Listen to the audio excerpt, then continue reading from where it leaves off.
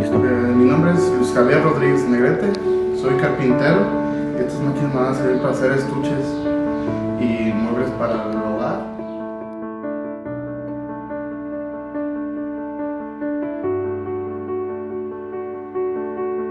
Ingeniero Hernández Bermúdez, vamos apoyarme en el negocio.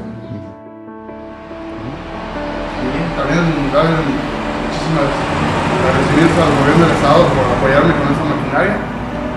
Soy sumamente agradecido con ellos.